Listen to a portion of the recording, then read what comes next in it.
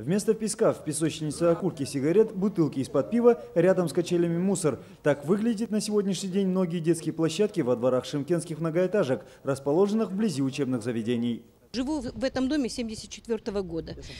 Вот. И вот такого безобразия у нас никогда не было, как сейчас. Вот сделали нам беседку. Туда собираются только студенты. Студенты приходят, они там это кушают, потому что вот здесь вот все столовые, все это продают им там бутылки, пирожки, самсу, все. Они приходят сюда, кушают, и потом это все оставляют и уходят. Смотреть на беспорядок сквозь пальцы чиновники не стали и первым делом устроили рейд по чистоте. Жалобы уставших от мусора горожан выслушал Аким Альфарбийского района, сотрудники ГУВД, СИС и Орион «Новые технологии». Словно по заказу на детской площадке, расположенной неподалеку, устроили перекурс студента автотехникума. С молодыми людьми местное руководство и сотрудники патрульной полиции провели разъяснительные работы, после чего отправили их на учебу.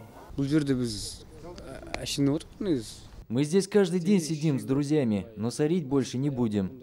Участники рейда проверили чистоту не только дворов многоэтажек, но и центральной улицы города. Проверка оказалась не напрасной. Так по улице Иляева арендаторы бутиков выносили пакеты с мусором и ложили вдоль тротуара.